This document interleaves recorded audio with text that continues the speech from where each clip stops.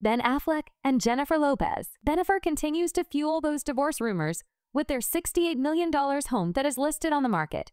Though it was known the two were planning to sell the Magnon, the interior details of the home were revealed by the real estate agency owned by Mauricio Umansky.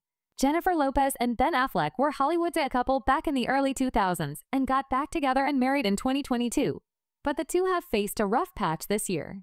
The married couple had not been spotted at recent events together, and in some sightings were seen without their wedding rings. However, neither the 54-year-old singer and the 51-year-old actor have made any public comments on their marital status.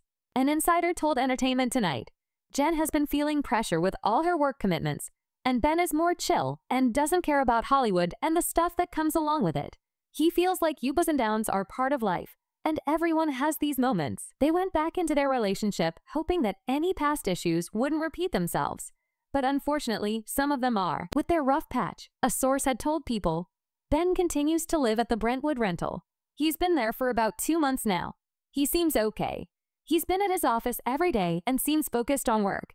He's also spending time with his kids. The speculation of the two living separately came weeks ago, but now the real estate agency brought the rumors to an end and confirmed the listing. Per Entertainment Tonight, the Beverly Hills marital home consists of 24 bathrooms and 12 rooms and is approximately 46,000 square feet under roof and 38,000 square feet under air conditioning, according to the 54-year-old's agency. But that is not all. The Magnon has a garage that fits up to 80 vehicles and has a guest house, indoor sports complex, and a guardhouse. Bennifer had bought the home and shared it to live with whom they shared with their previous relationships. J. Lo has kids Max and Emme, who she shared with ex-husband Marc Anthony. The Gone Girl actor welcomed Violet, Seraphina, and Samuel with former spouse Jennifer Garner.